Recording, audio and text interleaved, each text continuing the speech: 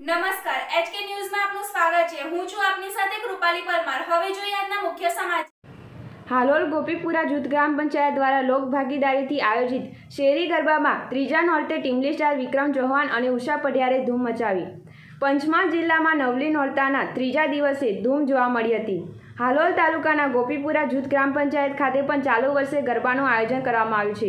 અહીં કોવિડની ગાઈડલાઇનનું પાલન સાથે લિમિટેડ માત્રામાં ખેલૈયાઓએ ગરબાની રમઝટ બોલાવતા નજરે પડ્યા હતા.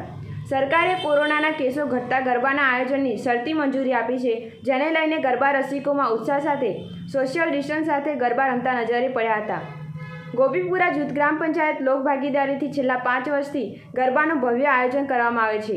કોરોનાની ગાઈડલાઇન મુજબ આ વર્ષે પણ શેરી ગરબાનું આયોજન કરવામાં આવ્યું હતું, જેમાં ગુજરાતી એક્ટર ટીમલી સ્ટાર વિક્રમ ચૌહાણ અને પટિયારે ગરબાની ધૂમ મચાવી હતી. જ્યારે ત્રીજા નોરતે ઇન્ટરનેશનલ નાટ્યાત્મક ભરત બારિયા સાથે અક્ષય પટેલ સહિત વિશ્વ હિન્દુ પરિષદ આરએસએસના સંગઠનો ઉપસ્થિત રહ્યા હતા અને ટીમલીના તાલે ઝૂમ્યા હતા.